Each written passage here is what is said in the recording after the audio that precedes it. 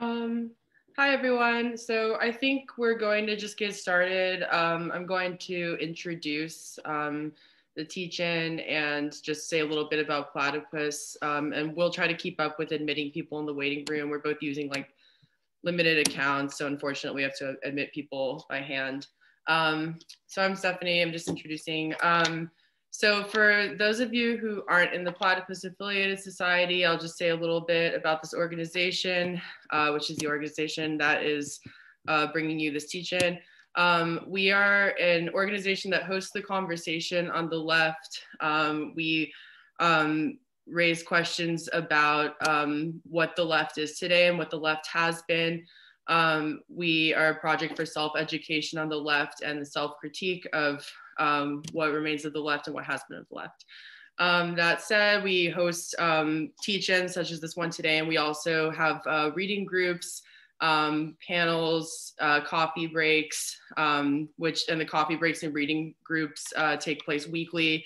And those are all sort of campus-based for the most part. We have chapters all around. So if you're interested, you can visit platypus1917.org uh, or you can contact anyone that you know um, in Platypus through social media or email. Um, there's an email address on the website as well. We'll be happy to, to answer any questions and uh, set you up with a local chapter.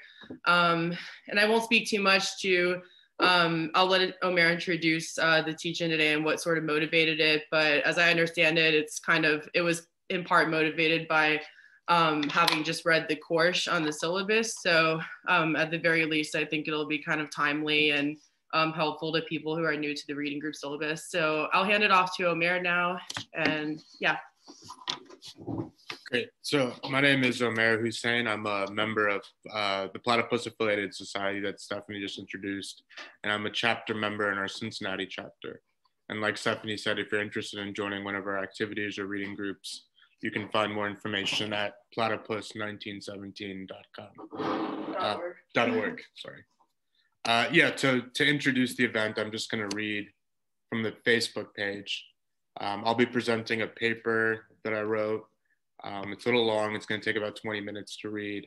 I've tried to share the file to the chat, but I'm having trouble with that. So I'll be sharing my screen so you can at least follow along with the text. Uh, and hopefully it'll be published perhaps in the Platypus Review in the near future. I'll be with that. Um, there you go. So I'm just going to uh, just try to scroll as you read it. Read the introduction, and then I'll start with the paper, and then after the paper's finished, we can just open it up for discussion and question and answer. For over a century, Marxists and leftists have vehemently accused their political enemies of being undialectical. Why is that criteria, being dialectical, so important for Marxist thought? What does it mean that the category of dialectics is understood to indicate the depth of fidelity or infidelity one maintains to Marxism? To answer that question, one has to return to the philosopher of bourgeois revolution par excellence, George Wilhelm Friedrich Hegel, whose profound thought and method had a world shattering effect that Marx enthusiastically inherited and felt tasked by it is contained alongside the general inheritance of Marxism by, by Marxism of bourgeois revol revolutionary thought in the category dialectics. And so, you know, that is setting up, I guess, this paper, which I will now read. So the paper is called Hegel's Dialectics, Non-Identity, Contradiction, and Freedom. The first question that perhaps comes to mind is what is Hegelian dialectics? I could provide a one line definition, such as the inter- uh, interpenetration of opposites, but I realize that such a definition might not mean much. Adorno astutely asserts that dialectics eludes definition by its very nature, that it is better demonstrated than defined. Perhaps a more fruitful but less short, straightforward way of getting at the matter is through a different question. Why dialectics for Hegel? If we can agree that Hegel was doing more than intentionally trying to be edgy or mystifying, we must ask ourselves why Hegel thought his dialectics was necessary for his philosophy. My central claim is that Hegel finds his dialectics necessary because he is attempting to more adequately comprehend an object in a process of change and transformation. The character of this change, how the object is changing, is of deep significance and something I will address later. To paint a very broad picture, philosophy has always been concerned with grasping the truth of reality. Prior to Kant and Hegel, but more importantly, prior to the development of modern bourgeois society, this truth was understood to be eternal, essentially static and unchanging. Plato grants that the world of the senses is in a state of constant flux. But true reality for Plato lies in the unchanging world of forms, grasped by unchanging reason. The true is true for Plato precisely because both it and our ability to comprehend it through reason doesn't change. I would argue that this is the essential characteristic of traditional pre critical philosophy an assertion of a static, unchanging, eternal truth. The Hegel scholar Robert Pippin defines traditional metaphysics as a priori knowledge of substance. Why is substance or truth able to be known a priori? Because neither truth nor our ability to know it transforms in traditional philosophy. What would it mean for truth and reason's capacity for grasping it to be transformable, a process of change? It is an important question because, as I hope to demonstrate, it is at the heart of life Hegel finds dialectics necessary. To begin to address the question, permit me to use a crude and perhaps misleading parable to make a point that I will further specify later. Here I am riffing off of an example Hegel provides in the beginning of the phenomenology of spirit. Let us pretend that we had never experienced a seed before, and one day we stumbled upon one lying in the dirt. What would it mean to philosophically grasp the truth of the seed? We would immediately make theoretical, practical, and aesthetic judgments about the object before us. We would speculate about questions like what the thing was and where it came from. We would think about what uses and purpose it, purposes it could be put to we would find its size, color, and shape pleasing or unpleasing to the eye. Let's say that after some deliberation, we came to conclusive answers about these questions, answers that satisfied us. She said he's a lazy. We then decided to leave the seat alone for a while and only returned to it months later for further study. To our shock, the seed had transformed into a flower bud. Kind of bad. I encouraged it. We would not only have to make new judgments about a new object, but we would be compelled to find a way to explain to ourselves how the seed we had comprehended a certain way related to this new mysterious flower bud that seemed to demand an entirely new set of judgments.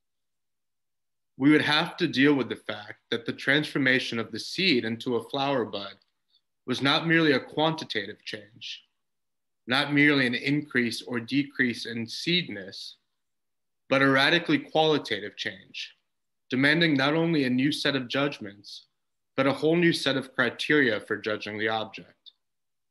The object had changed in such a way that the flower bud fundamentally challenged the basic conditions of intelligibility that allowed us to make sense of the seed. In becoming a flower bud, the object had negated its condition as a seed and simultaneously negated the criteria of judgments we had applied to the seed. For the seed to become what it was destined to become, it had to negate itself. We walk away scratching our heads, daunted by the fact that in order to grasp the new truth revealed about the seed, we are forced to negate and transform everything we held previously we had previously held to be true. Because we are dedicated to the search for truth, we eventually do this and arrive at a new system for comprehending the flower bud, confident in its adequacy for grasping the new object. We return to the flower bud weeks later to test out our new philosophical apparatus. We are met by another shock. The flower bud is now a blooming rose. We are forced to undergo the same painful process of transforming our conception of truth to meet the demands of another transformation of the object. But this time, something is also revealed about our former positions and the former conditions of the object. Their meaning has changed. What once seemed to us to be an irre- irreconcilable antagonism, the truth of the seed against the truth of the bud that had negated it, is now recognized as distinct moments unified by the fact that there were instances of a process whose result is now before us. It turns out that, despite how it appeared to us formerly, two things that seemed opposed to each other, the seed against the bud, have resolved their opposition and that we can now grasp them as interrelated moments in a process of change. For the seed to become what it truly was, it had to first negate itself and then sublate, to use Hegelian terminology, this negation as a moment in a process leading to its true destiny, a higher form, the blooming rose. This parable is highly fallacious if taken as a literal example of Hegelian dialectics. I don't intend to get into a dialectics of nature discussion here. The main reason this parable might be misleading is because a seed doesn't transform itself through its own reflection and activity, but simply changes in accord with the laws of nature. A seed is not self conscious, a seed is not free. The object of Hegel's philosophy, what he sought to comprehend, was not the mindless and automatic changes that took place in dead nature, but freedom in history. Change that was driven by a self legislating subject through the use of reason. Freedom for Hegel was the process in which a mutually constitutive subject and object of knowledge reciprocally transformed each other through a dialectical relationship, through a speculative identity that played out in history. The change Hegel attempted to grasp was neither arbitrary nor preordained. It was a movement whose content was a subject coming to awareness of itself through the recognition that it was transforming the object it sought to know, the object that conditioned its own reality. Freedom was the coming to rea- realization that we could change the objective circumstances that shaped us and thus change ourselves. This process is what Hegel's philosophy sought to raise to consciousness. The purpose of the clumsy parable was to illustrate the depth of difficulty entailed in the task Hegel set for himself. How does one maintain commitment to the idea of truth while simultaneously recognizing truth as a process of transformation in which what is true must become true by negating and changing its own conditions of being true? How does one adhere to the claim that truth exists while concurrently comprehending that truth exists only as a movement of self transformation in which truth must realize itself by negating and overcoming its own existence as truth. What I am perhaps obviously raising is the issue of contradiction. Hegel understands the change he's attempting to raise to consciousness as made both possible and necessary by contradiction. Freedom proceeds through contradiction. What exists is self contradictory to the extent that its existence expresses possibilities for change that can only be realized through the negation of this existence. This is why Hegel needs dialectics, to grasp a process of change driven by contradiction. One way Hegel uses dialectics to deal with this difficult problem is in his use of the speculative proposition. Hegel is often misread undialectically because his speculative propositions are read as ordinary propositions. In an ordinary proposition, what is asserted is an identity between the subject and the predicate of the proposition. To illustrate this more concretely, let's address one of Hegel's most misunderstood propositions the real is rational. If this were an ordinary proposition, what would be claimed is an identity between the subject of the proposition, the real, and its predicate is rational. In other words, if this were an ordinary proposition, it would mean what many poor readers of Hegel take it to mean, mainly what, that whatever exists, the real, is always identical with rationality simply by the fact that it exists. This is how Hegel is misread as a conservative thinker. He is mistakenly read to be saying that whatever happens to exist is eternally reasonable, and thus the charge is made that Hegel merely apologizes and advocates for the way things are. Read as an ordinary proposition, Hegel is understood as making a static and unchanging claim about what is always true. He is read as making a traditional metaphysical claim. I would suggest that an ordinary proposition puts us back in the world of traditional philosophy, because the nature of the proposition seems to assert a timeless truth, an unchanging identity between subject and predicate. I would go further and suggest that, as Chris Cutrone states in unpublished remarks, the very nature of ordinary logic and language seems to belong to the world of traditional philosophy and traditional metaphysics, because ordinary language and logic seem to be suited to making claims about and referring to a static, unchanging, eternal reality and truth. So the task Hegel is faced with is how to use logic and language, tools historically used to make claims about eternal truth, to talk about truth as a process of change and transformation he doesn't give up on these tools because there are no other tools, but he is forced to use them in a radically new and transformed way. I would argue that this speaks to why Hegel might be difficult to read and comprehend. Hegel's way of dealing with the problem of how to use logic and language to address truth as a process of transformation is the speculative proposition. For Hegel, if an ordinary proposition asserts a simple and static identity between subject and predicate, it becomes tautological. Something is true simply by the fact that it is true. How can an ordinary proposition be more than tautological, more than an assertion of an identity that is already presupposed as an identity? What does an ordinary proposition add when what is being claimed as true is true because it is true. Hegel's radical move is to reframe the way we think about an ordinary proposition.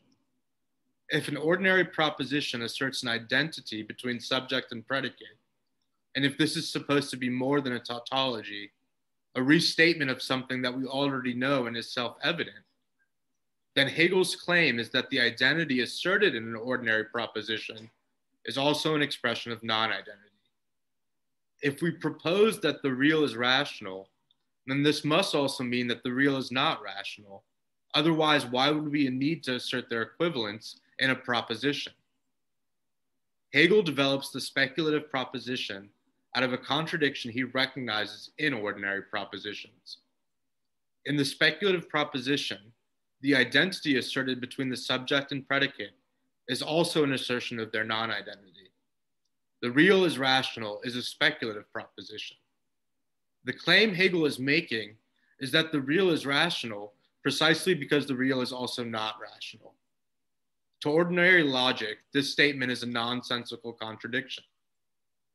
But if we understand truth as a process of transformation through contradiction, perhaps we can get a better handle on what Hegel is saying. If rationality is not a static state, but a process of becoming, then to say that the real is rational means to say that the real must become rational by recognizing that the real is also not rational as it exists. The contradictory statements, the simultaneous identity and non identity of subject and predicate, are moments in a process of becoming.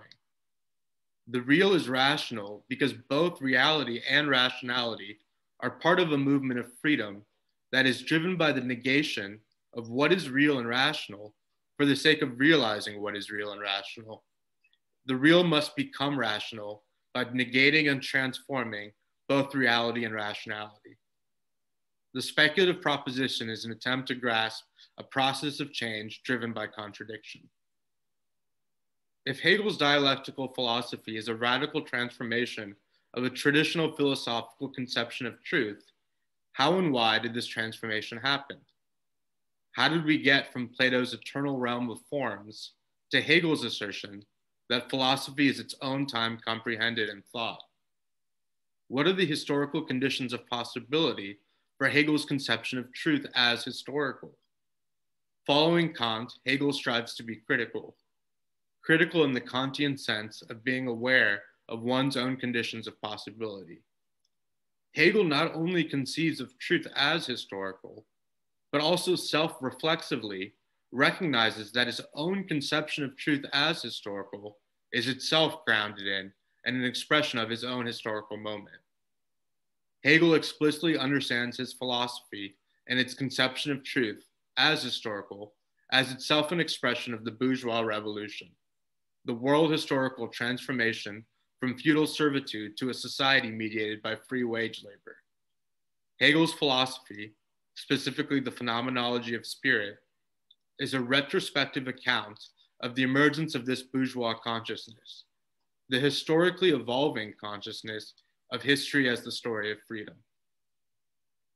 Hegel's account of the emergence of this bourgeois consciousness is encapsulated in a parable contained in the phenomenology of spirit, a parable commonly referred to as the master slave dialectic.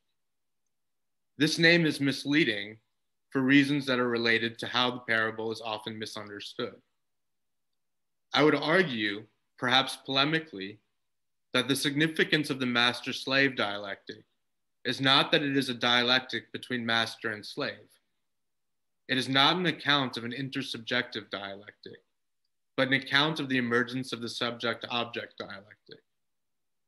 For Hegel, an intersubjective dialectic would require mutual recognition of self consciousness by two free self conscious subjects. The point is that the slave, as slave, is in no position to recognize the master because the master does not recognize the slave as a free self conscious subject. Thus, in the absence of mutual self conscious recognition of the other's freedom and self consciousness, neither the, neither the slave nor the master are subjects. The real point of the master slave dialectic is that it is a dialectic between the slave and himself. The slave, an unfree, subjectless being, is for, forced to work by the master. Through his labor, the slave transforms nature. By transforming nature through work, he comes to recognize himself in the objects he has created. He arrives at an awareness by objectifying himself through labor that it is his own activity that is transforming the world. And through this act of self reflection, he also transforms himself. The master becomes unessential because he does not work.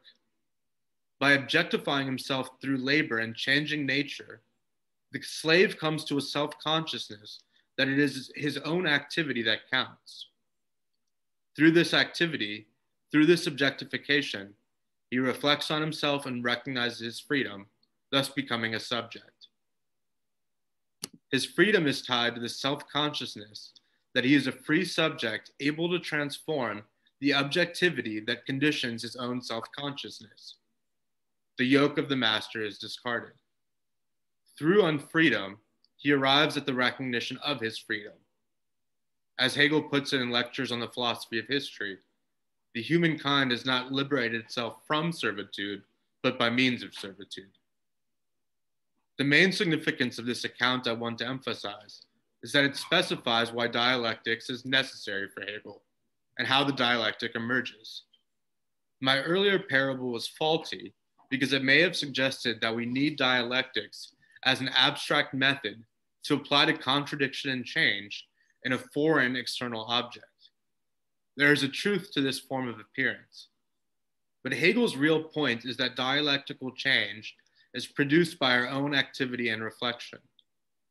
We need dialectics to grasp a dialectical reality that we are continuously producing dialectically. For Hegel, labor is the source of the dialectic. What must be comprehended dialectically is the contradiction produced by our own activity, the splitting of what once was a static whole into a reciproc- reciprocally constituting and transformative contradiction or non identity between ourselves as both subjects and objects of the historical process whose unfolding Hegel calls the absolute. Okay, so that is the extent of my by paper. Um, we can open it up for questions and discussion now. Uh, I know Richard raised his hand midway through the paper, so he must already have something to say. So maybe we can start with Richard and then other people can jump in as, as they wish.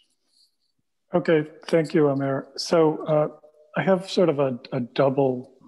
So first of all, you began with this kind of biological metaphor, and then you said, I don't want to get into the question of dialectics of nature. But mm. since I just did a teach-in, I'm curious to hear your view on it. And the reason I asked the question is it seems to me that the, the philosophical issue behind the question of whether there's dialectics in nature has to do with two views of dialectics. One is that dialectics have an objective character that determines the structure of the world. And the other is that that's kind of a, it's part of the human world, it's part of a method, and it isn't necessarily part of an objective reality and doesn't necessarily apply to the non human world. And these kind of two opposed views. And also, since you bring up the question of historical change, I'm wondering, since the word dialectics is used before Hegel by other philosophers like Kant and Plato and probably others, those are the ones I know of, but with different meanings. Like I'm wondering whether you see any continuity between like a pre-Hegelian dialectic conception of dialectics and Hegel, or you think that Hegel essentially created the conception of dialectics that you're defending. Um, and again, then that would pose into the question of post Hegel. Do you see a fundamental continuity between Hegel and Marx, or do you think that Marx added or subtracted or changed in some way Hegel's conception of dialectics? Mm. Yeah, so the, the first question is dialectics about an objective phenomena in the world, or is it about merely the subjective human method to get at dialectics? I mean, I think the kind of really significant claim of Hegel is that it is both. Uh, you know, that you have to dialectically recognize how the object, the objective reality one is attempting to comprehend, is not solely is constituted or transformed by the subject's attempt to know it. And so the reason dialectics is both a method and the actual structure of the world is that for Hegel, both are mutually constitutive in a process. Um, and so I guess I use that metaphor because I thought it set up how it, the question might appear as one of in the foreign world. And I hope throughout the paper to kind of address how that form of appearance is also for Hegel a process that is overcome in the recognition, let's take the slave and the, the master, and the recognition by the slave that in working, he is transforming the objective world he's trying to know.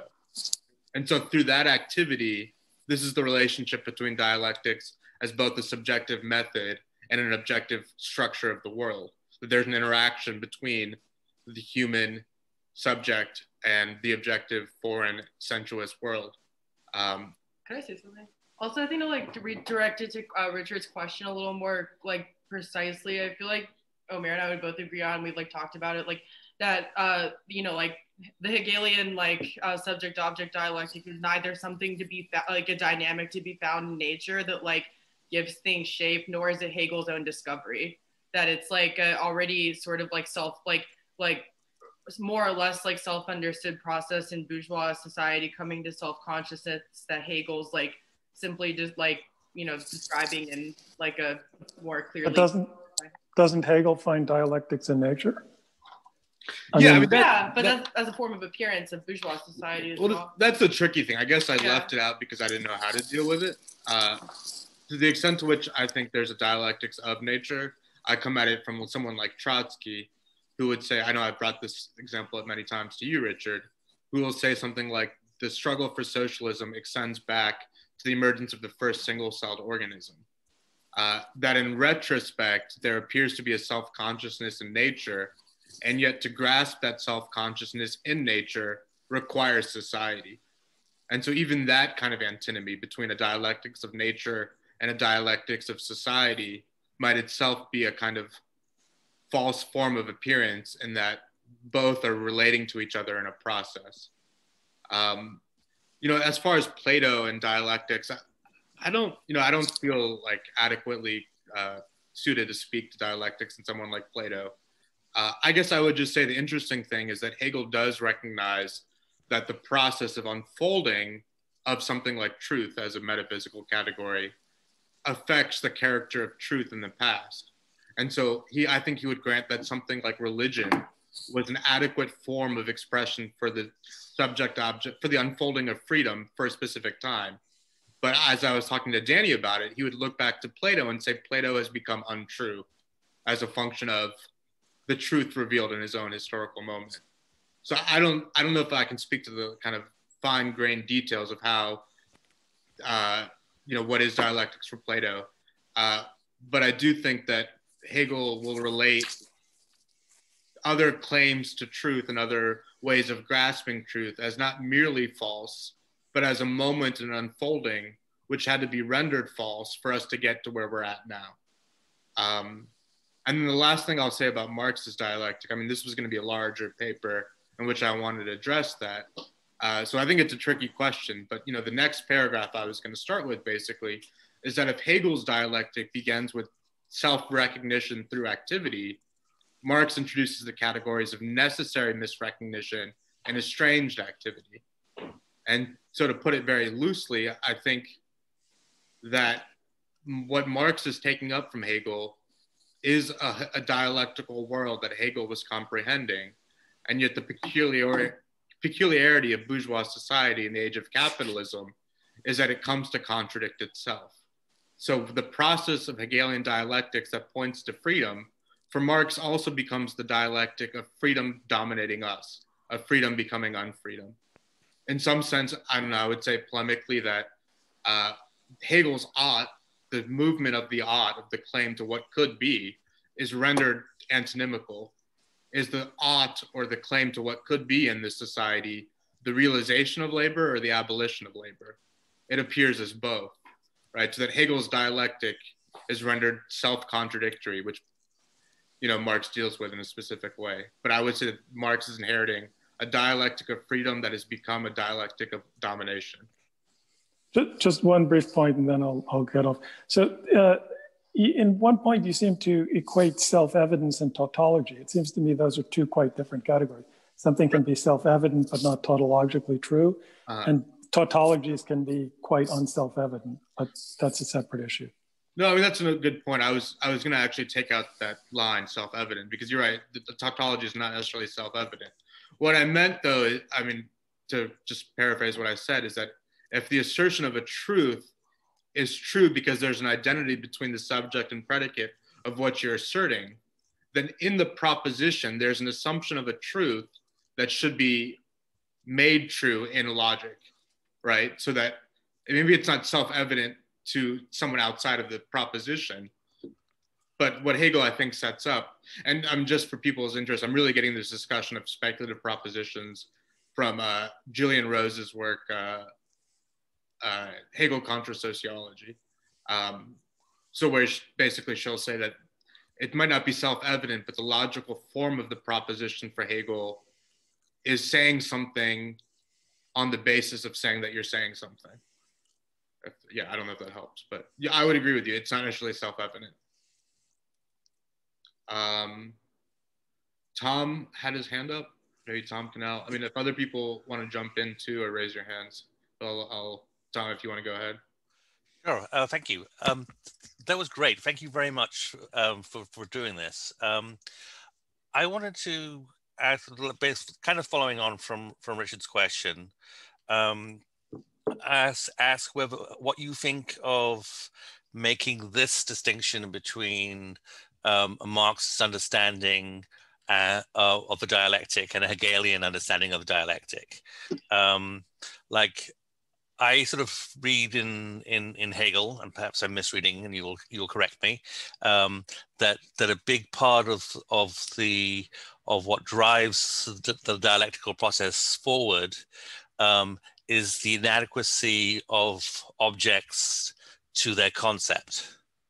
Um, so, so, um, and that that would seem to be a sort of idealist um, um, way of thinking about it. Um, I understood from Adorno, and again, if I'm misreading it, please please correct me, that um, that what sort of drives dialectical thinking for Adorno is the inadequacy inadequacy of the object of the of the concept in relationship to the object. Um, and um, I have sort of like two, which which sounds which seems more materialist somehow.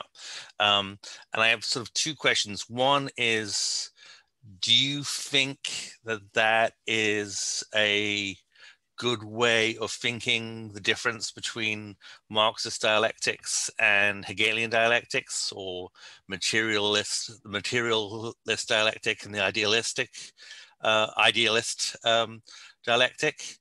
Um, and two, if it is, what what if anything is changed about the inner structure of the dialectic um, by basically um, making concepts inadequate to objects rather than objects inadequate to concepts.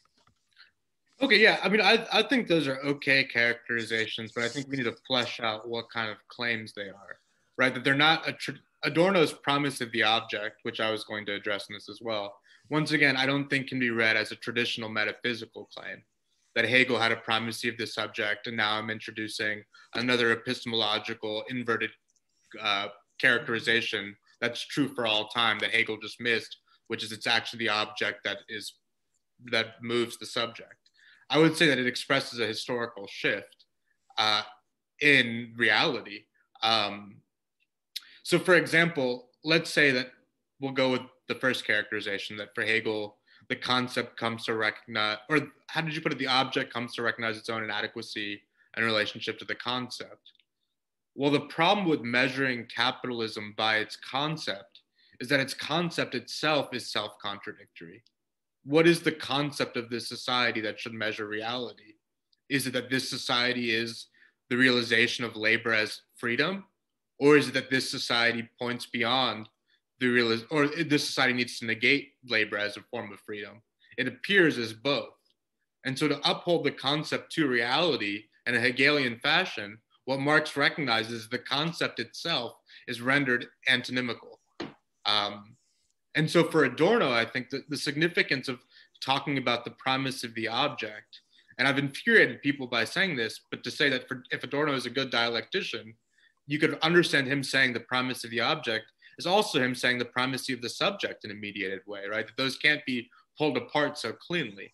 But let's go with the primacy of the object. And, and perhaps what I'd suggest is that as a function of the dialectic of Hegel coming into self contradiction, it is actually the object that appears to be transforming faster than we as subjects can comprehend.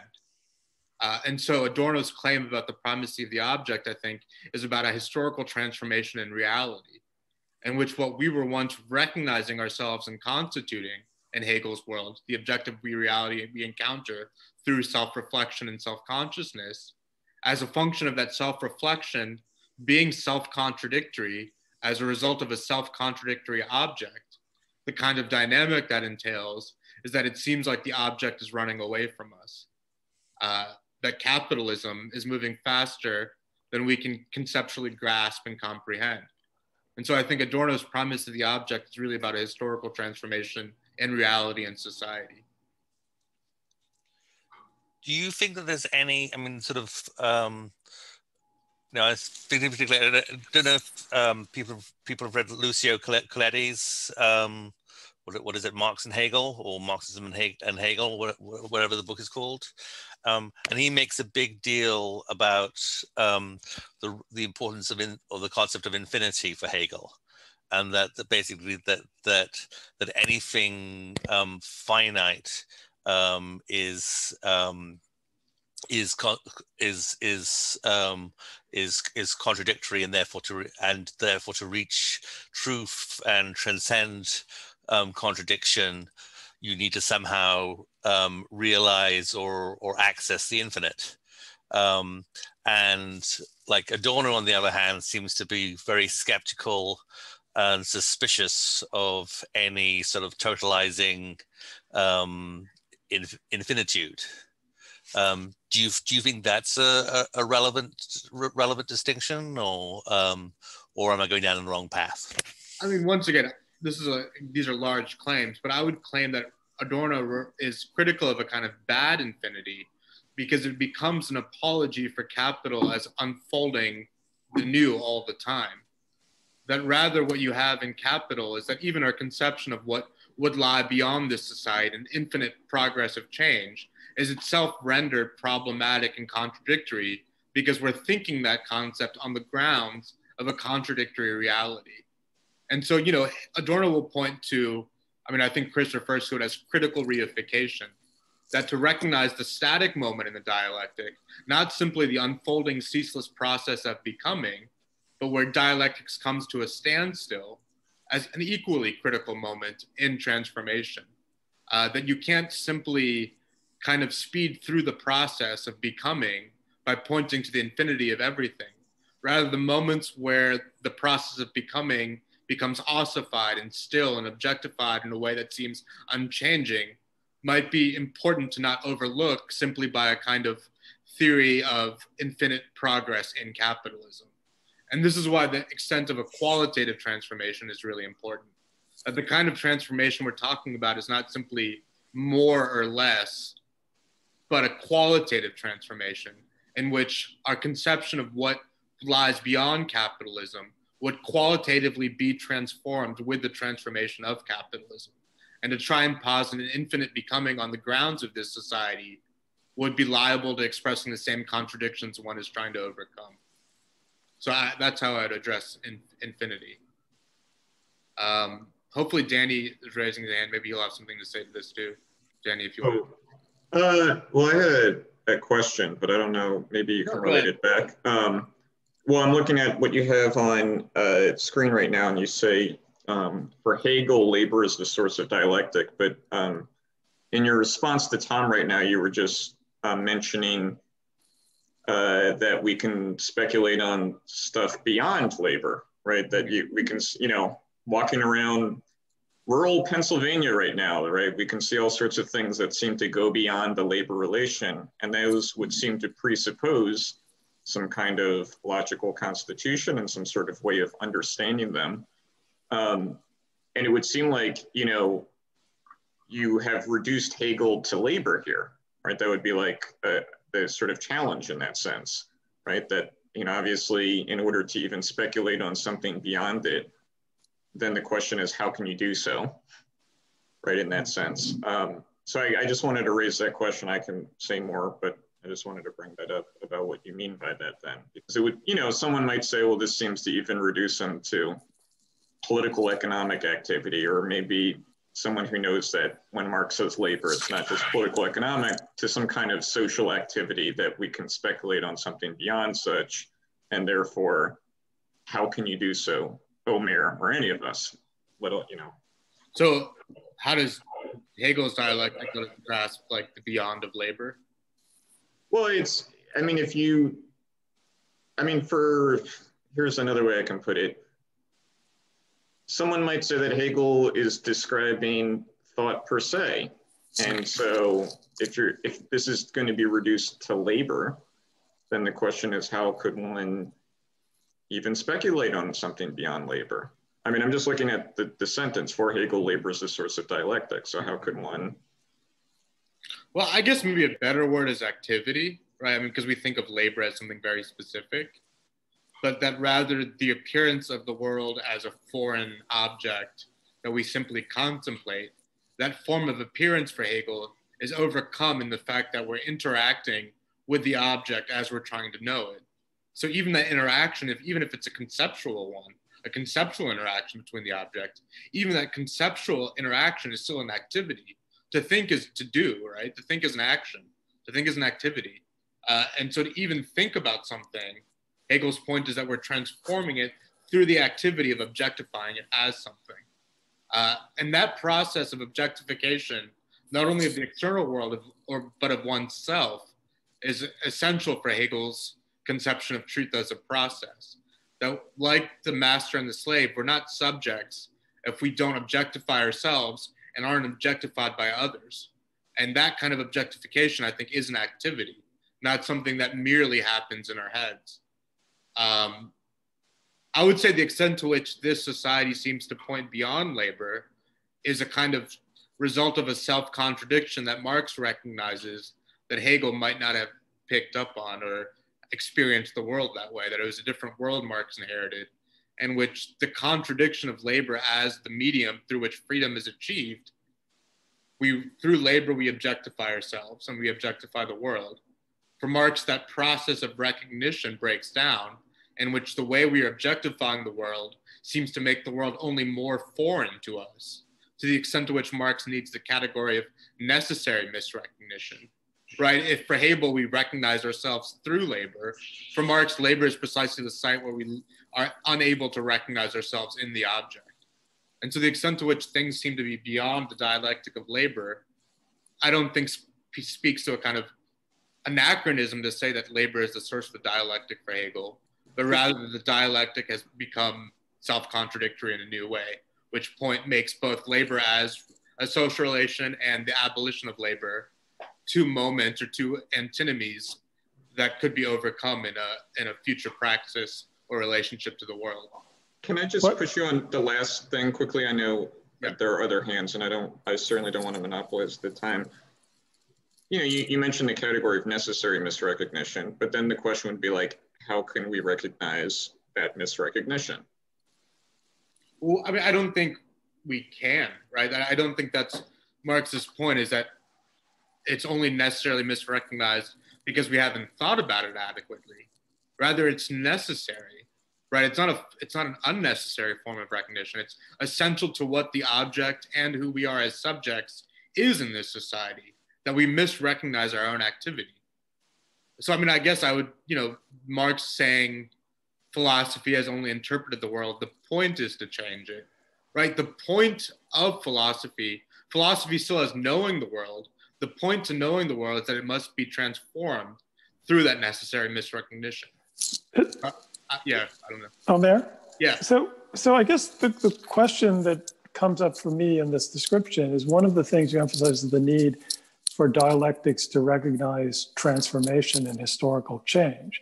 Mhm. But and then in the you know the description you talk about Marxists and leftists accusing people of being undialectical, but it would seem to me that there are other ways of describing historical transformation and change other than the language of dialectics, right? It's not dialectics is, has to be something beyond merely a recognition of historical transformation and change, Mhm. right? It's not that simple of like an opposition between just a static traditional philosophy a la Plato and a kind of dialectical, historical, modern bourgeois consciousness. And certainly there are many forms of historical consciousness uh, that would be different from Marxism or that would re- try to reinterpret Marxism in a way that removed it from a language of dialectics. So I'm sort of trying to understand why you think specifically dialectics and Hegelian dialectics is necessary to grasp historical change. Uh, I think I said he feels like he has to more adequately grasp it. And I think why he thinks he's more adequately grasping it, and this is the kind of thing I brought up later that I should have maybe emphasized earlier, is that it's not a change produced in an external object, but it's the change we ourselves are producing in splitting ourselves into subjects and objects through our own activity, through our own emancipation.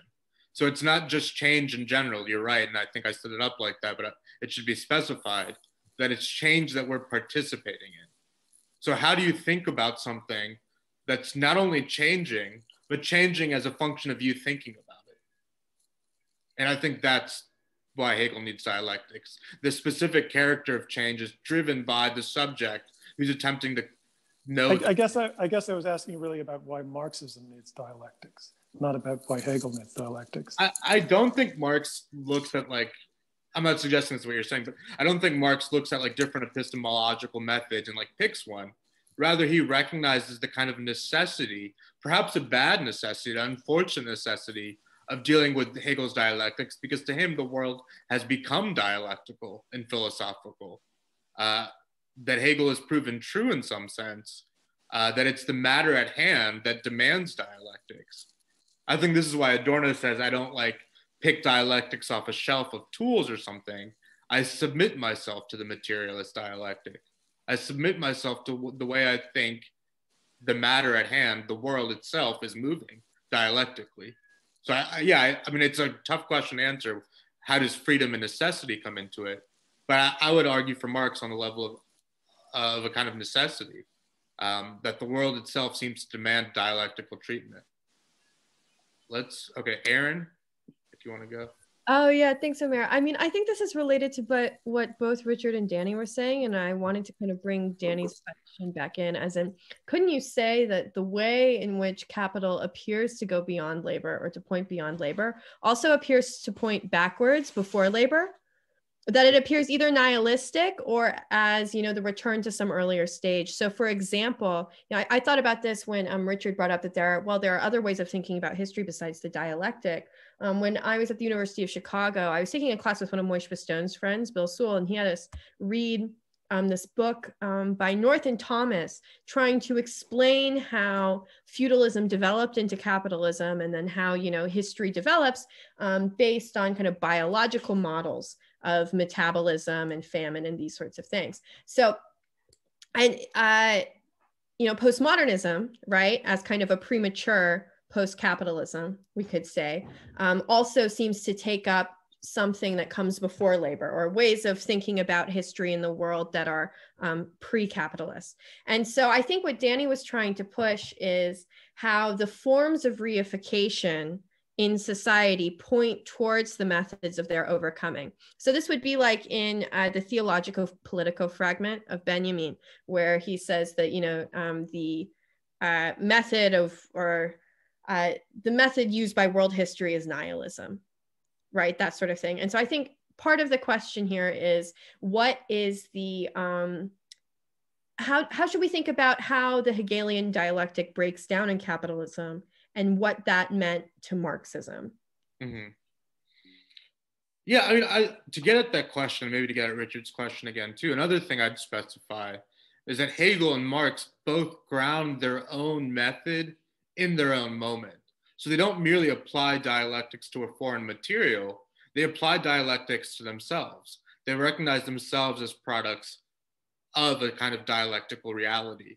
I mean, I, I think you're right that for Marx, simply the recognition that the society might point beyond labor, that recognition is itself ideological and could mean many different things. Could mean, yeah, that we've never been modern, that we're returning to a kind of medievalism, uh, that the point is to kind of like smoke a lot of pot and quit your job and start an anarcho squat. That's like beyond labor. Um, that like the recognition of how this society points beyond labor is itself something that can't simply be, be prefiguratively thought about and then implemented. I mean, I think this is my big thing with why Marx kind of forsakes a prefigurative formulation of what society beyond capitalism would look like because he recognized that our own thinking about the future is grounded in the eternal present of capitalism. And so to even conceptualize what beyond labor would look like itself speaks to a society that renders our thoughts self contradictory. Um, and so, in that sense, the point isn't that the society just kind of transparently points beyond labor, but that it expresses a contradiction in labor that without telling us what its overcoming would be, to recognize it as a contradiction in good Hegelian fashion means that to recognize it as a moment of potential transformation and self overcoming. Um, I don't know. Does that speak to your question? Yeah, I think it does. Thanks, Omair. Yeah. Okay, Justin, and then Grant.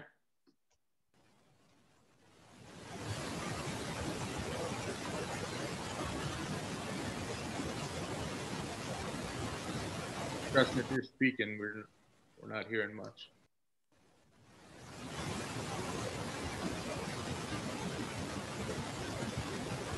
I think your mic, good. Your mic, all we're hearing is kind of static, or at least that's what I'm hearing.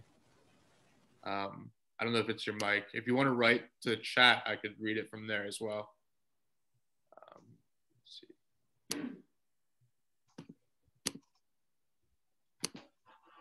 uh, why don't we move on to Grant? And if Justin, you can get your mic working, or if you want to write to the, let me check the chat right now. Okay, we'll move on to Grant. Okay, so I have a kind of a maybe amateurish question, but it's uh, it's kind of related to some of the questions that have come up before. So, uh, Richard mentioned that dialectics isn't original to Hegel, and you mentioned Plato and Kant. I was thinking of Kant when you're talking about uh, labor as the source of the dialectic uh-huh. and the interrelation between pure and practical reason. Uh-huh. I was also reminded of hearing Chris Cutrone say in the past that with Kant, philosophy begun, and with Hegel, it ended.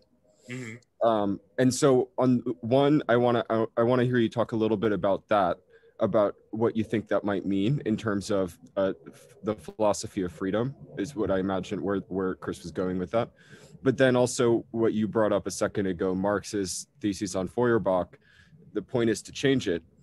Um, I, I guess I mean I have like a very uh, vague idea of what I what I want to ask. I guess I maybe just really want to ask you to talk about that sort of historical trajectory and what it means in broad terms. Though I recognize that that's exactly what we've been talking about this whole time. I guess I just wanted to phrase it in uh, a uh-huh. different way.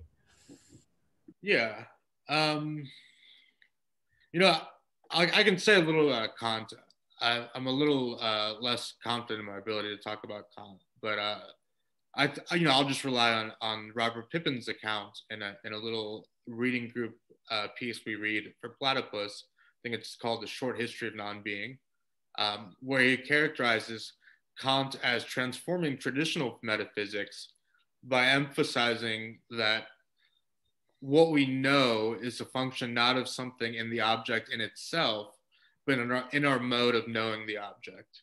Um, and so, in that sense, Kant kind of disintegrates the idea of traditional metaphysics and sets up a kind of non identity, I would suggest, between the subject of knowing and the object of knowing. That in traditional metaphysics, substance is known a, a priori because there's no, because what we know and what is in the world are identical with each other. For Kant, I think he also speaks to the emancipation of the bourgeois subject in a specific way in which they now recognize a kind of distinction, even a conceptual distinction to be made or that's so related between ourselves as the subjects of knowing and that the object of knowing is also ourselves in some sense because it's con- concerned with our conditions of knowing it. Uh, you know he reserves space for the thing in itself which you know i, I wouldn't want to get into here but that uh, kant recognizes a dialectic that hegel kind of specifies and uh, says, look, this is what Kant was doing without even necessarily talking about it or being aware of it. Uh, and so in that sense, I think this is what Hegel thinks of himself as completing Kant or completing the critical philosophy. Um, that he's the last account of philosophy you need because it's already pointing to philosophy as a mode of social relations. Uh, that you know, and this goes back to Rousseau actually. Uh, that what knowing might mean philosophically can be mediated through our participation in civil society. Um, is that and what was your second question? I can't. I guess the second question that, that is about Marx and the theses on Feuerbach, right? So the end of philosophy, um, uh, as such, so I, I, am also I have in the back of my head maybe too many thoughts to to rattle uh, off. All well, actually, you know, this reminds me what I wanted to say to Tom. You know, I stayed away from the materialism idealism dialectic. I think if people follow the philosophy conversation in Platypus, one thing Theo and Jensen that do that I agree with is to say that Hegel was a materialist in some sense. Hegel recognized philosophy as being mediated in concrete material practices. I would say the converse of that is Marx. If we're if we're using these dialectically, Marx is also an idealist. Marx recognizes self-consciousness as a moment in a process that plays a part. Uh, and so, what is often remembered is Marx's critique of idealism. Marx also has a critique of materialism in the theses on Feuerbach. And so, I think the thing to signify there is not materialism or idealism, but dialectics, right? That Marx has a critique of Feuerbachian, not what he would view as undialectical materialism. And I pointed to that thesis because what I'm saying is I don't think Marx abdicates the like raison d'etre of philosophy to know the world, but recognizes that the point to knowing the world now presents itself as a question of transforming the object. I think Danny recently posted something great to Facebook, which is from those theses as well, which is that man must prove the truth of his thinking, that to contemplate truth and see if it corresponds to a foreign reality is merely scholastic. And I think Hegel would view that as problematic as well.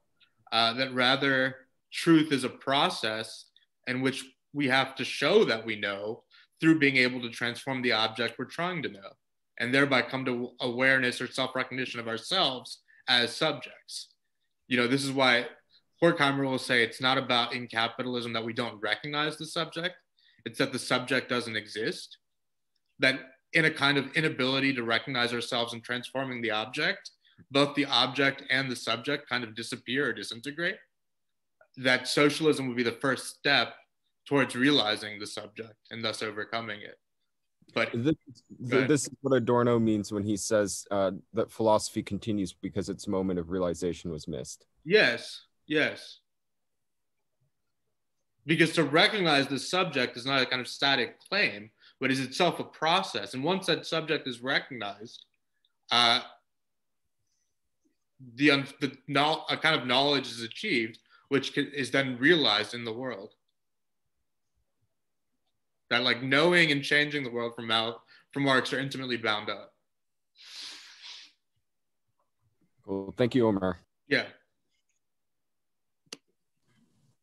Uh, can you hear me? Yeah. Okay, cool. Sorry, the wrong mic was um, set. Okay. Uh, so I have a couple things. One of them kind of relate. One of my questions kind of relates to uh, your earlier discussion of the master-slave dialectic, particularly as that's kind of taken up by Adorno in his studies on Hegel. Uh-huh. Um, so you do mention that. Uh, I guess part of the point of this dialectic is that the sort of the slave, the sort of unfree, subjectless subject, um, recognizes himself in the objects he creates. And I wanted to point out that I think in Hegel three studies, Adorno kind of uh, locates actually a moment of reconciliation in that dialectic. And I'm just wondering if that could possibly, if you could maybe specify how that can point way to where, or can kind of point towards where Hegel and Marx themselves point ways. And I guess my other, uh, my other couple comments or questions was um, Aaron's question actually reminded me of uh, particularly romanticism is a kind of necessary form of appearance of bourgeois society and capital as like because we live in capitalism we necessarily want to return to pre-bourgeois forms which i think marx actually states uh, fairly explicitly in the, in the grundrisse. Uh-huh. um, and i was wondering if you could possibly you know if, how, how that relates to maybe this category of necessary misrecognition that you were elaborating as kind of a distinction between marx and hegel. Totally. Okay so the first question i mean so this is everyone in platypus hears this all the time particularly from Chris, which is that yes, Adorno has a critique of Hegel as appearing uh, an espouser of identity thinking, that in his master slave dialectic, because there's a kind of assumed recognition through changing the object that you come to awareness of the self. This appears to Adorno in retrospect, in history, in what Hegel has become as ideological and a kind of identity thinking because it assumes precisely what becomes absent in capitalism, which is the self recognition through labor. And I think that's Adorno's point there that perhaps Hegel was accurate in describing the radical kind of uh, repercussions of a slave working on something and through that recognition of transformation, understanding himself as something different than a slave. For Adorno, the problem is that becomes an upholder of a society in which that same dynamic that led to freedom is dominating us. In other words, what I talked about with Marx, that it's exactly at the site of labor, the site of the dialectic of freedom for Hegel, that the dialectic breaks down in capitalism. Because the point is, we work probably more and harder than ancient peoples have ever worked. And yet, the recognition of ourselves in the object is precisely what's being denied to us, or actually reproduced actively by our working the more we work, the more we change the world, the more the world appears foreign to us. And I think that's once again to uh, recognize Adorno's criticism as an expression of a changed historical moment, not simply a kind of one set of epistemological concerns against another set of traditional epistemological concerns that he's simply just negating. Rather, he recognizes both moments as a kind of aspect of the contradiction of capitalism you know, people go to work and they do feel fulfilled and they do feel like they make an impact on society. Hegel is still with us. And at the same time, going to work only produces a dynamic in which society is running away from us and appearing to dominate us. Um, and then what was your second question? I'm sorry, Justin. Oh, um, it was actually, it was building on Aaron's, it was building on Aaron's question regarding uh, sort of, I guess, what she kind of mentioned is the return. Well, first she mentioned postmodernism as a sort of premature post-capitalism, but also uh, this like sort of yearning for a return to um, modes of labor that are pre-capitalist. And I was sure. just asking you to talk about romanticism as a necessary misrecognition of capitalism. Yeah, I think there's necessarily a romantic recoil against capitalism. Once again, that it's not a thought mistake. It's not people being too sentimental or not adequately recognizing the problem or something. They might lack a certain self-awareness, but they express the reality of the crisis, which is that why did this happen in the first place? I mean, this goes back to Rousseau, who says that look, if freedom is not achieved, then it would be regrettable that we move from an imaginary state of nature to our social relations. Um, and in one way, this necessity appears for Marx, and I think for the best Marxists in capitalism, is that philosophy and art are precisely inherently necessarily romantic in capitalism. That philosophy as expressing a kind of conception of truth as achievable uh, kind of papers over the fact that the knowledge problem is a problem in this society, in which to know the world, as Lukács says, we would only know this society when we've overcome it. And so to claim, to make claims to truth, philosophical claims to truth is romantic in this society because it leaves the problem at the level of, of contemplative thinking. And I would say the same with art, that the best art for Hegel and for this tradition recognizes itself as expressing a kind of reconciliation between necessity and freedom, or subject and object, or objective circumstances and subjective inclinations. And precisely by expressing this kind of unity, it's romantic and then it's papering over a real contradiction. The fact that subject and object aren't identical in this society, that they're torn apart. Um, but of course, we still need art and philosophy precisely because their moment of realization was missed. And so, yes, the romantic, I think, conception of this society as a potential site of the mediation or reconciliation between subjective and objective circumstances is romantic. And yet, that romanticism expresses a real kind of problem if recognized correctly.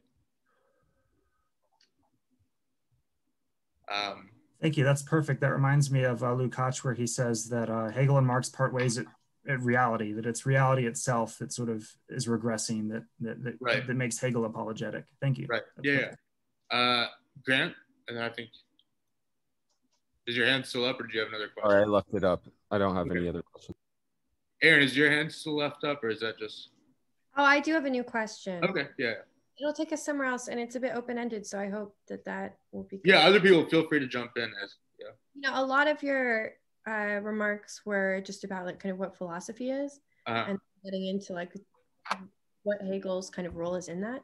Uh-huh. So I was wondering if you know what you think the relationship is between philosophy and politics.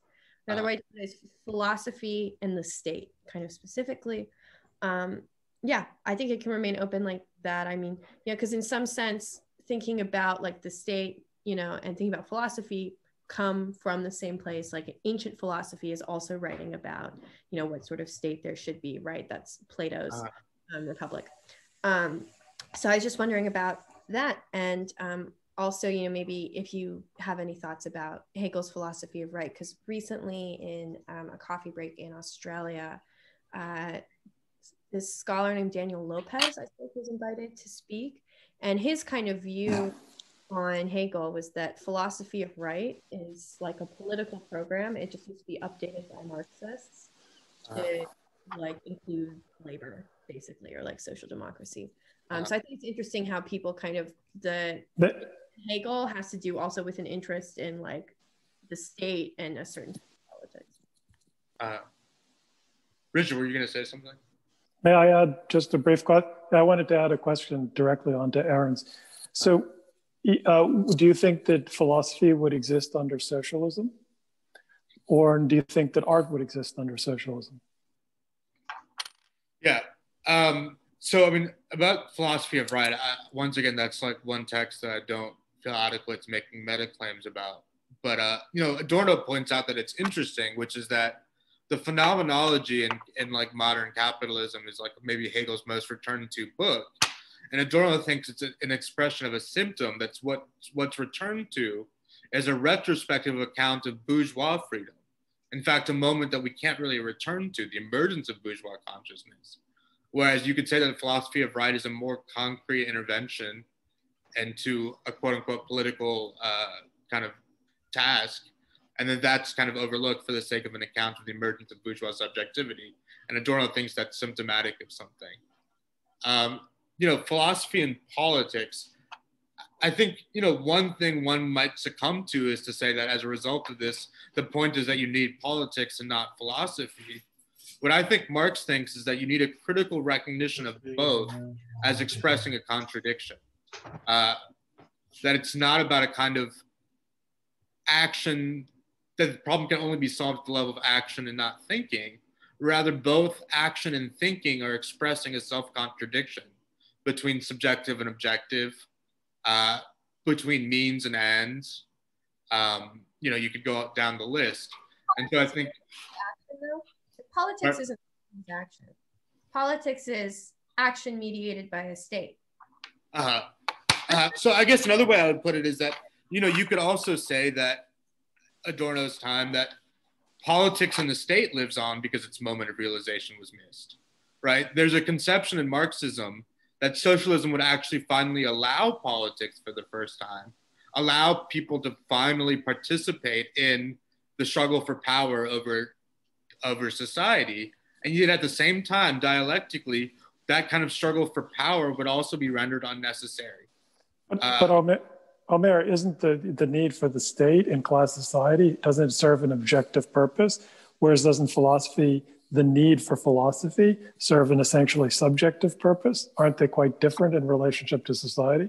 That might be true. That might be true. Um, yeah, I don't know though, because I mean, do we need art? I don't know. I don't think.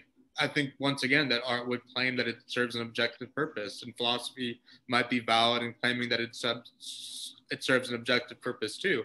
And I don't think Adorno, someone like Adorno, wouldn't look at like philosophical attempts after Marx as merely subjective failings. Rather, Heidegger expresses an objective necessity. He might, he might misunderstand or not be self-conscious of like what he's expressing, but it's an objective phenomenon. It's not merely like a faulty kind of irrational person. There's a reason Heidegger came into being and became popular for Adorno, a, a very objective one. And that as a symptom, it's as validly objective as the state. Uh, Yeah. But Good. But I mean, the overcoming of the state is a political process, uh-huh. right? A, through a revolution. Like what the overcoming of philosophy means would seem to be something else, would seem to be a, an inner intellectual process. Maybe that people will not need philosophy anymore if they live in a free society, or they might not need art anymore, or philosophy and art would become something completely different. Whereas the state are special bodies of our men. The state has a kind of objective character well, related you know, I to class maybe, society.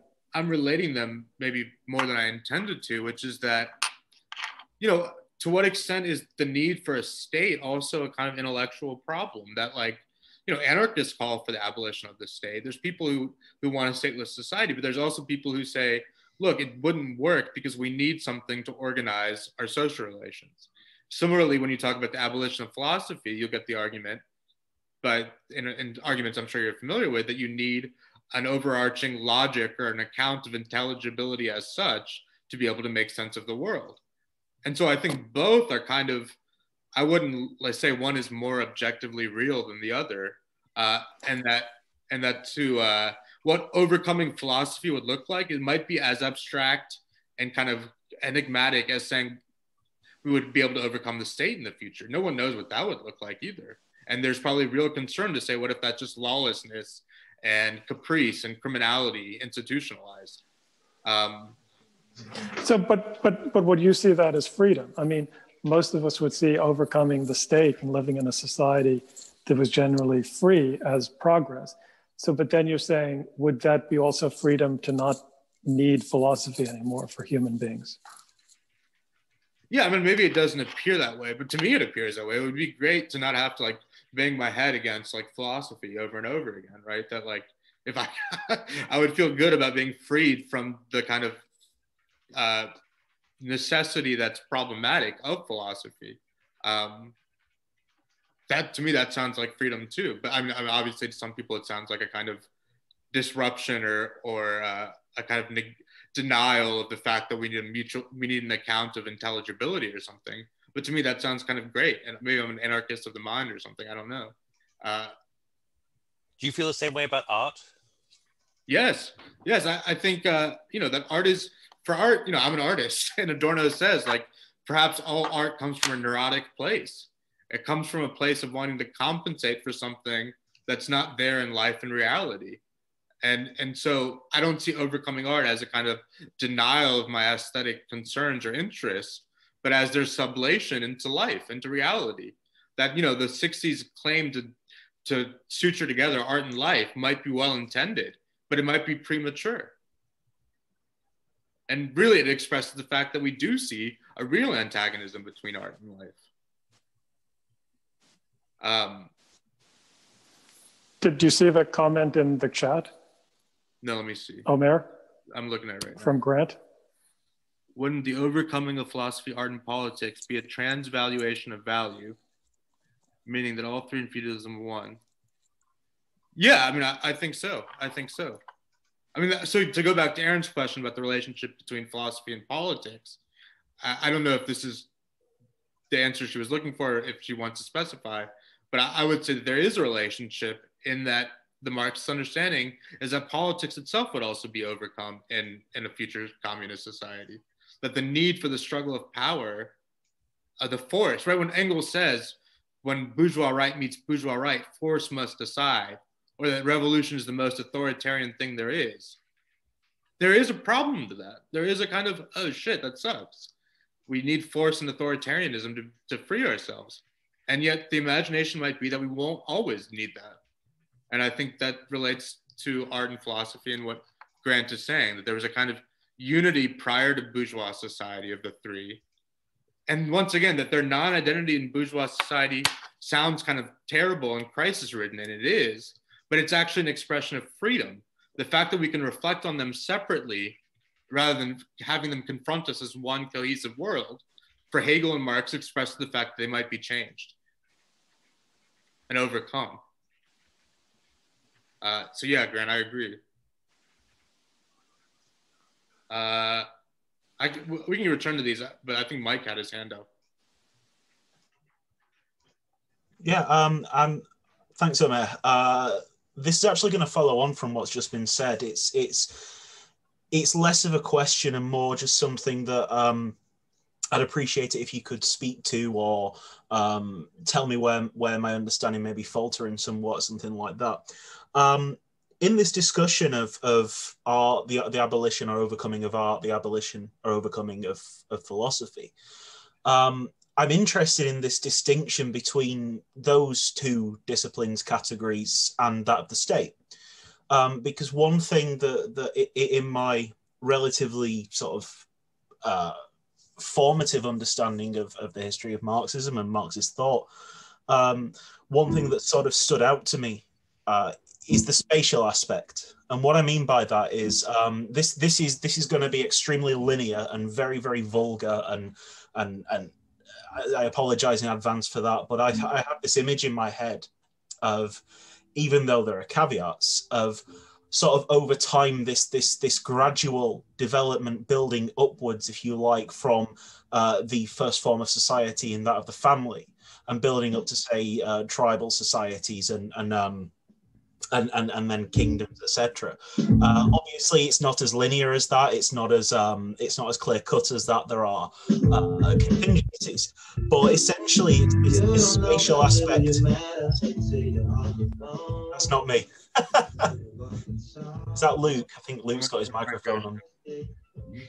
Um, yeah. Uh, so it's yeah. Where was I? It's it's very it's very sort of it's a bit vulgar, but um, yeah, I, I get I this spatial aspect leaps out at me, and so I, I get this feeling that um, in the overcoming of, of of the state as it stands, as, as Richard said, this the special bodies of armed men, um, which is you know a desirable overcoming, uh, but at the same time, the state in bourgeois society as far as I understand it, was there as a sort of guarantor of freedom, right? It's, it's this it's this sort of aid to freedom. It's there as a preserver of these bourgeois freedoms.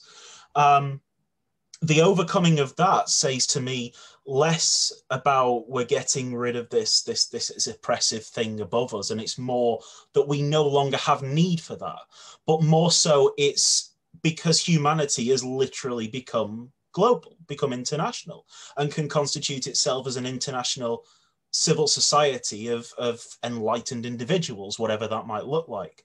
Uh, and it just to me i don't i don't see much of a difference between that and the overcoming of say something like philosophy and art which i uh, in my as i say in my limited understanding relates to something like um, adorno's description of say uh, what luther did where luther puts the priest in the hearts of men right? But then the point is to overcome religion uh, so we're participants in a civil society right now but the representative of that civil society is the political community uh, in the form of the bourgeois state, I think.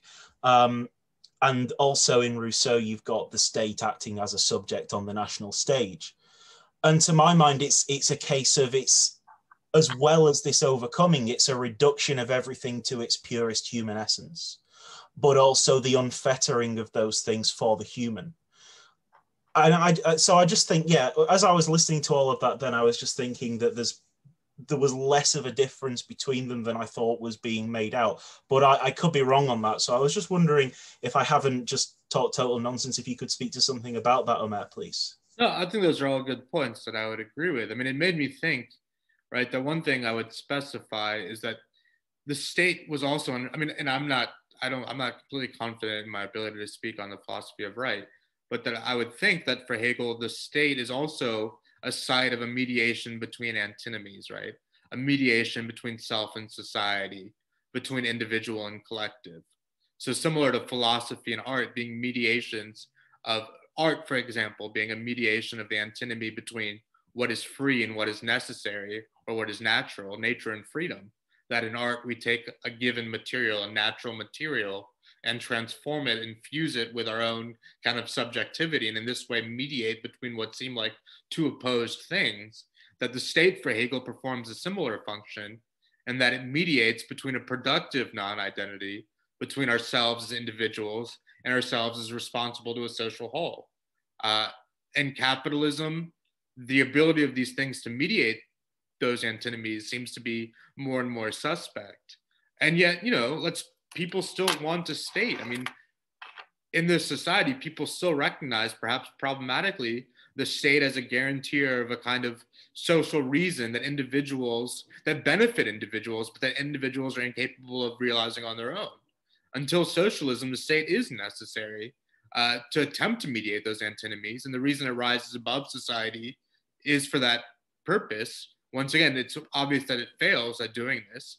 Um, but if we recognize the state as a mediation of a dialectical contradiction for Hegel, uh, overcoming the state would amount to an overcoming of that contradiction or transformation of that contradiction as we understand it. Does that speak to what you're saying? Or? Yeah, that's great. Thank you very much, Omair. Janie, do you have another question?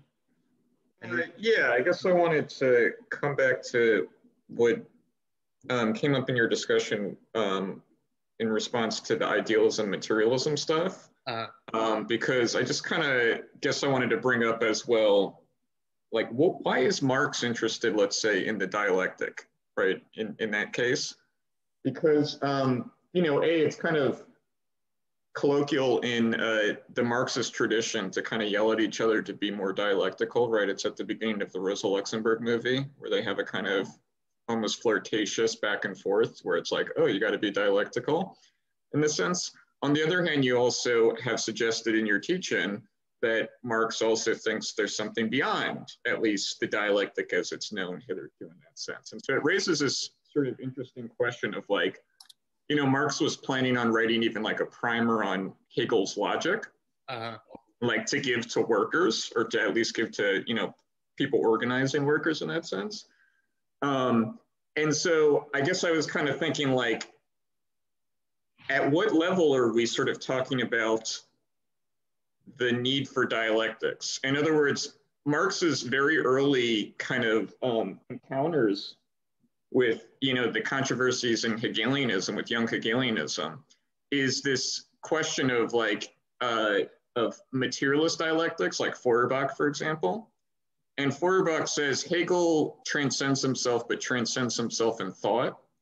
And Marx is kind of like yes and no. He's not, you know, one of these vulgar Marxists who's like, oh, it's in mental activity and you got to get your hands dirty and change the world, right? This is how people interpret the theses on Feuerbach. It's not about being in an ivory tower. It's about activism. It's about actually changing the world, changing the conditions in that sense. But why it could appear to be the case that it looks like Hegel's doing something at the level of thought without actually, you know, and I'm not accusing Hegel of this, but why could, why we could receive him as such that it could be like, oh, this is in terms of um, thinking and not in terms of the actual practical circumstances in that case. Yeah. And, yeah. And you know, this is why you'll find lines in Marx, like in the Holy Family, the distinction between thinking and being, whereas that was in a lot of ways Hegel was putting that as a speculative identity right? That was kind of like, you know, this is sort of a, a famous moment in, in Hegel's logic. And, you know, something that, that comes up in Marx's time, of course, is the reserve army of labor, meaning people who are literally outside of society.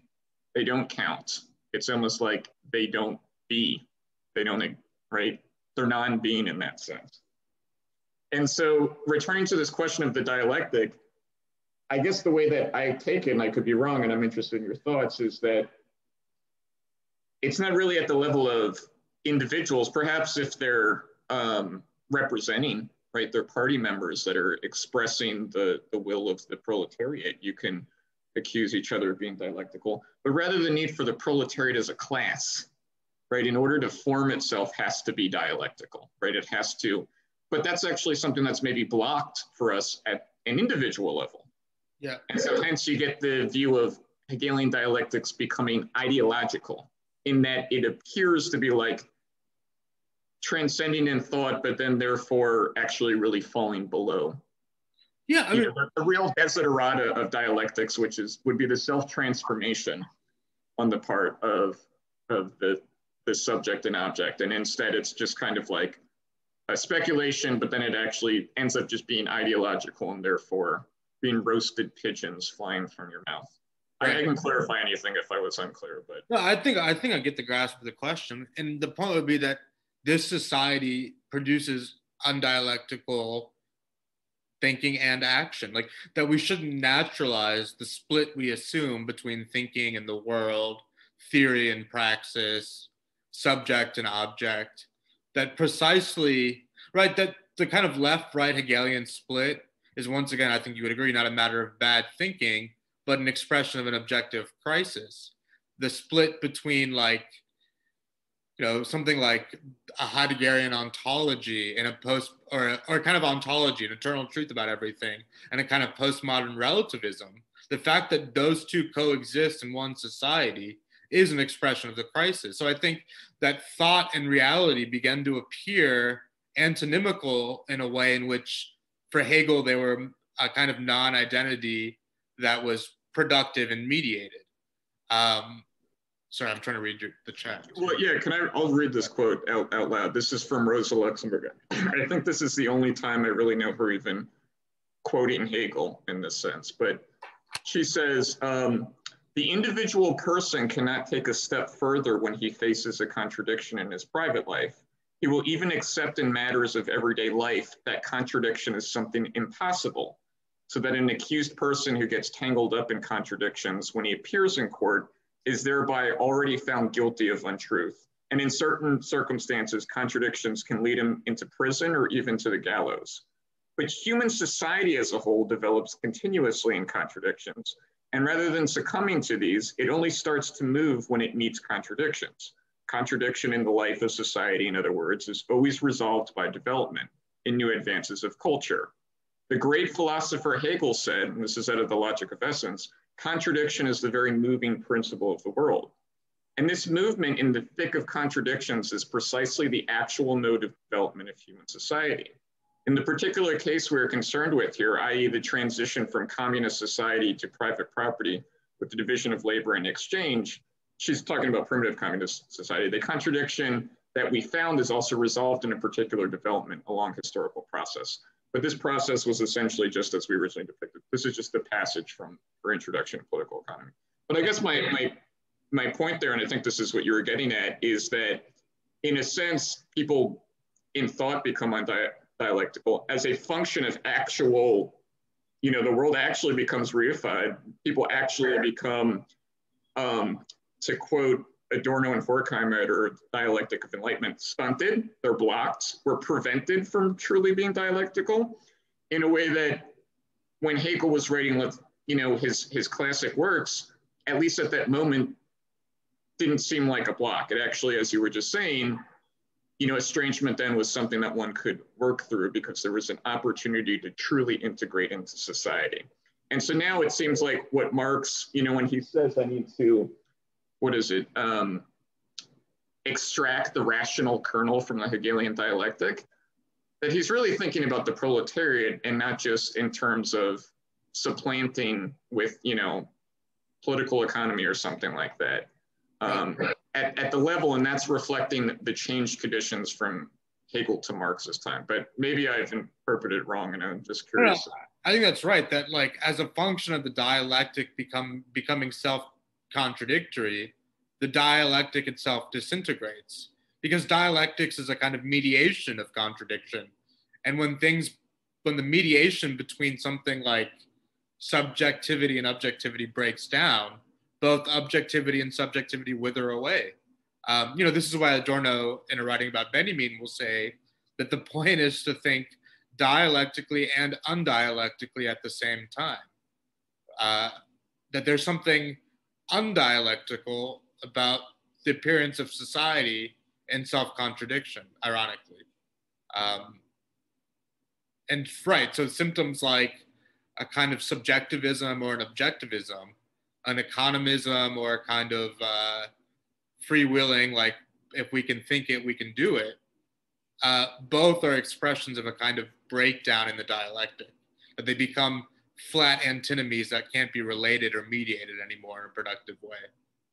Um, yeah, totally. I, I agree with that. And so, like, right, that for Feuerbach to point to a kind of materialism of, of matter or sensuousness Marx will say what you don't grasp is that sensuous matter is also human activity. But why does it appear that way to Feuerbach in the moment he's writing? As a function, I would argue, of, of Hegel's dialectic breaking down, the dialectic between thought and matter, spirit and matter breaking down, and which you get more and more desperate attempts to kind of put together what's been torn apart. I wanted to get to who is this? Johannes? Um, did I mute him? Is he on still? Let me just read his chat question and then we can get to Richard and Mike. Um, okay, it might be a basic question, but I have my problems with that. So when Hegel says the reality is reasonable and reason is real, from my understanding, does that mean that society is reasonable or has become reasonable with the expansion of bourgeois society? So that the relationship between society to itself and its reproduction and its relationship to nature is now understandable. Thus, history becomes, through its universal character, a reasonable history, therefore, a history of the progress of freedom. So, you said that reality for Hegel is reasonable and also not reasonable. I wonder how this second side of the coin, the irrationality of reality, is to understand. I'm confused because I always treated this as the news of capitalism, which brought the rationality of society in a dialectical, in a dialectical addition to the reasonability of reality or another side that this is Marx realizing a different world than Hegel did because of a qualitative flip of bourgeois society into, into crisis under capitalism. I think I try to push you to specify the relationship between bourgeois society and capitalism, as well as the difference between Hegel and Marx. I, I guess what I was arguing, and maybe I am projecting Marx into Hegel, but maybe that's a conversation to be had, is that if we understand rationality itself as a movement, and not a kind of static state. Uh, that that movement proceeds through contradiction. And so to simply assert that reality is rational because we can understand it doesn't recognize that both our understanding and rationality and reality are changing, are moving in a process of self-negation. And so I think I think Lukács puts it this way, maybe someone correct me, there's a truth to the false moment. There's a rationality to the irrational moment for Hegel, because this is how change is expressing itself. That what exists, to the extent to which it points to transformation that's reasonable, uh, must also deny its own reasonability. Otherwise, how would change happen? If there's a simple identity of reality and rationality, how does change happen? That the irrational plays a part in the dialectic, the false plays a part in the unfolding of truth. Um, and so maybe that sounds like Marx, right? But I would say that's actually just Hegel. And that for Marx, uh, yeah, how would I, let me think about that.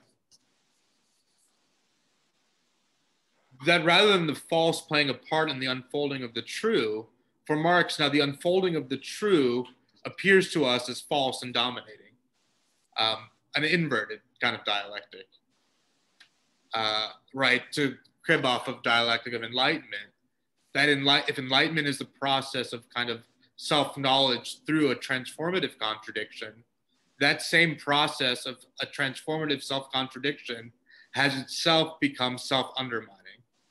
That that process of contradiction leading to freedom is now precisely what dominates us in its unfolding. Um, yeah, I don't know if that's clarifying, but I would say to specify that I do think false and irrationality Okay, I got a thumbs up. But yeah, the, the falseness and irrationality of a moment is a part of the unfolding of reason for Hegel. Um, okay, Richard, do you want to? Yeah, um, there's a term you've used constantly, and I just would like you to sort of specify it and talk more about it, which is the term contradiction, and I guess negation goes along with that. So, I mean, within, say, someone coming from a more analytic tradition, contradiction is something that only applies to propositions. A contradictory proposition would just be false. Whereas self contradiction in Hegel seems to refer to a much broader category um, and applies to things and society and so forth. So I think I'd like it if you talked a bit about this category of contradiction in Hegel um, and how you see its role and also the difference between that conception of contradiction and say uh, the kind one would encounter in analytic philosophy or what's called formal logic or something right. like that. Right. No, Jarrett, who's a member of Platypus Cincinnati, has an analytic philosophy background. He, he studied philosophy at, at a university, and that's what is kind of popular. And so we get into this kind of discussion all the time. And that's why, and so he will say that what I'm saying is a contradiction. It's just not a contradiction. It's not a logical contradiction. And so maybe I like the term non identity better, which I think is related. Uh, and once again, I think with analytic philosophy, the problem is that you're dealing with a kind of assumption of an unchanging or static truth, right? That a, a, logical proposition asserts what's true.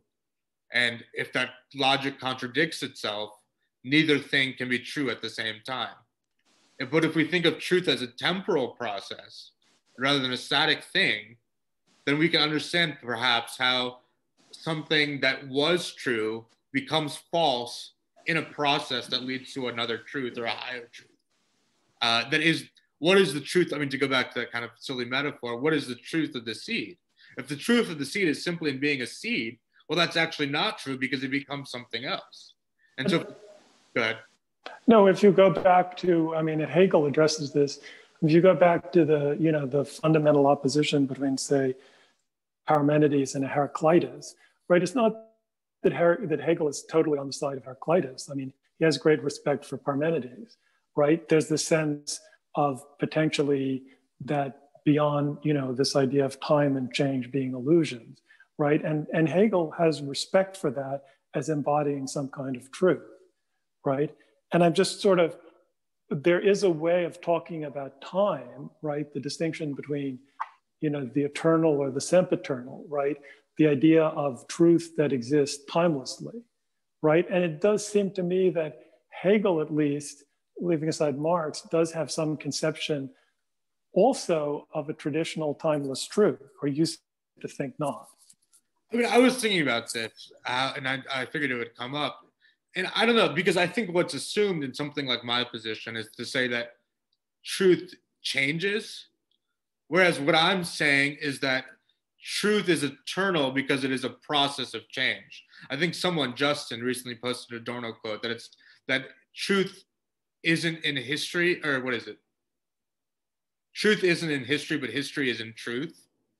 That the process of transformation through contradiction is the unfolding of truth. So that doesn't mean that what once was true statically becomes untrue statically. It's not a kind of relativism. Rather, it's saying why philosophy is concerned with what is eternally present is because the present sublates all of the past into it and transforms it along with the kind of contingency of the mere moment. That philosophy is eternal precisely because it's concerned with the transformation of eternity and time. And well, very, yeah, go ahead. Well, let me ask you this. Like, so one of the traditional oppositions of traditionally philosophy and history would have been counterposed, right?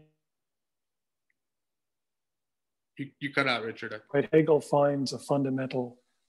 I said so in traditional, like say Greek thinking, right?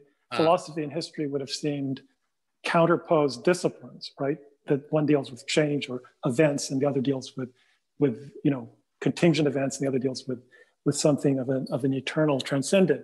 And, and in Hegel, of course, there's this profound reversal of this, and this idea that history itself is of profound significance, and also that the history of philosophy itself is of profound significance, right? I'm not sure if that is necessarily the same problem as dialectics. But that, that awareness is actually more striking to me than the notion of progress through contradiction. Yeah, I, mean, I, I, think that is striking. I, I mean, I would just say that I think for Hegel, history moves dialectically, but I think we could leave that out and still say that yes, it is striking that what was viewed as merely contingent uh, because it, it changes is like substantial for Hegel. You know, and I think like we would have to some, and I don't know if I have a great answer to this, but somehow somehow ground the antinomy between eternity, eternal truth, and merely historical relativistic truth as symptoms of something that encompass both. Um, because I feel like that's what this philosophy kind of debate ends up kind of butting heads against is that is truth eternal or is truth historically contingent? Well, I think Hegel is saying like both, but also neither. The point isn't that truth is historically contingent, but that history itself, the movement of history, is truth.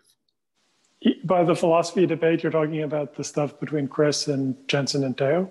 Sure. I mean, I guess I, yeah, I haven't really said anything about it uh, on my own, but this was in the back of my head, obviously, when I was writing this teaching. And you feel closer to Chris's side, I'm gathering. Yeah. I, I, mean, I, I wanted, to, but I think sometimes some of it comes to like how one poses the problem, in which I think,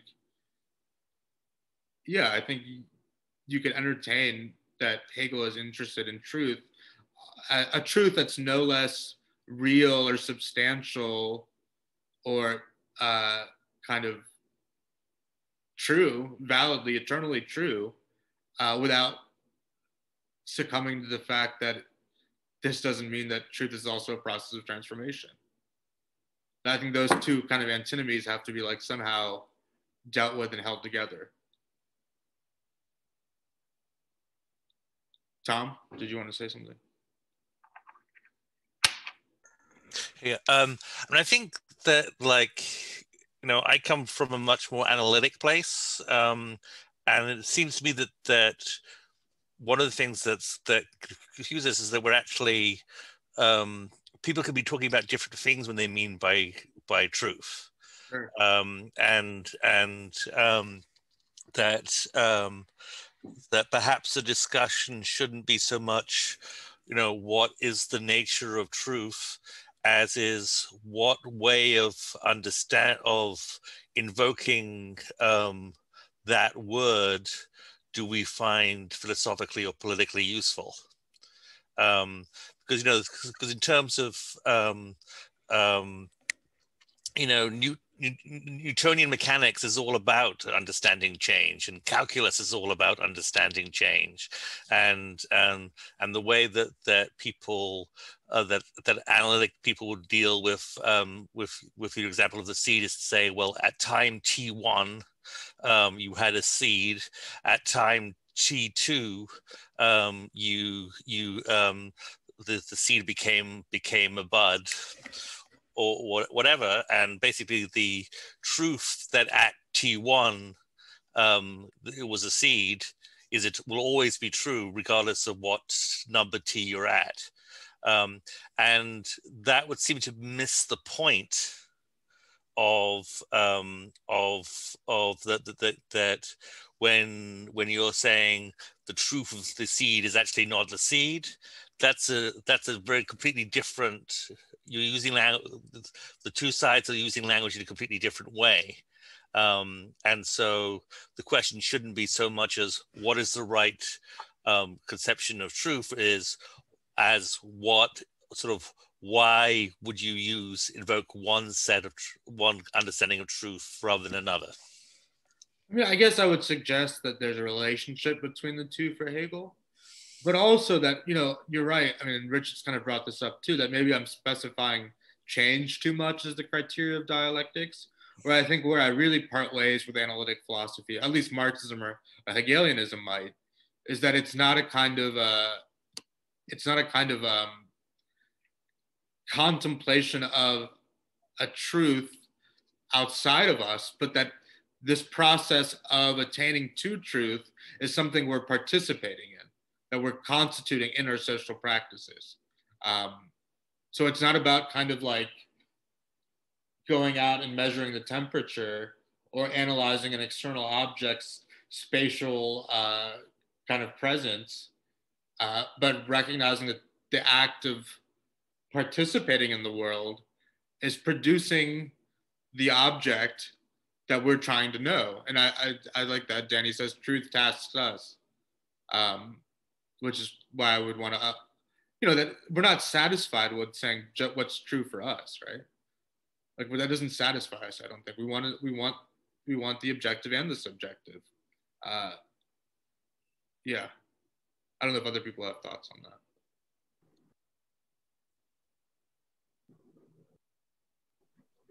I, I know it's a loaded word to use, and I, I, I kind of foresaw, but I think it's important to at least be honest that Hegel isn't a pragmatist necessarily.